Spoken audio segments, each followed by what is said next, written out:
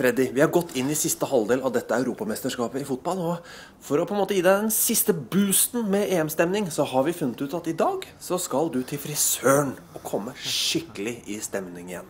Du skal få sveisen til en stor profil i dette mesterskapet.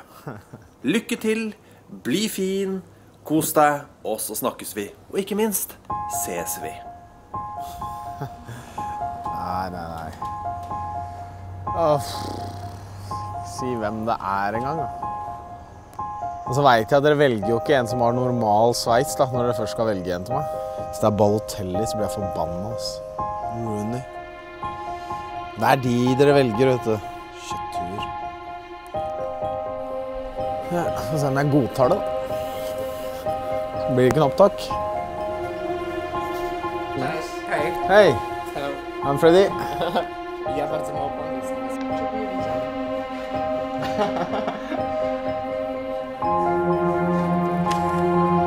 Herregud, dette her bør jeg få mer betalt for, rett og slett.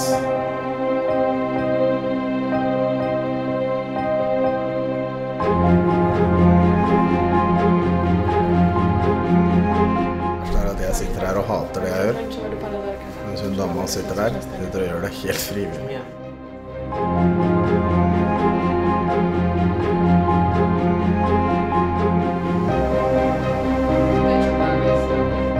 Alex Thomas, dette her Dette er å gå for langt. Så dette her må dere få igjen på et eller annet vis.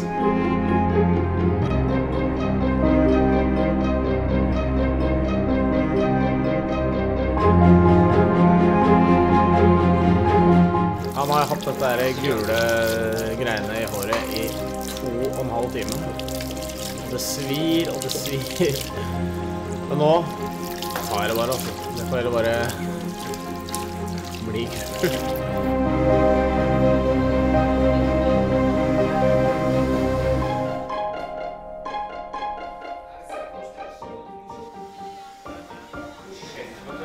Unnskyld, barna mine. Jeg er fortsatt pappa, altså.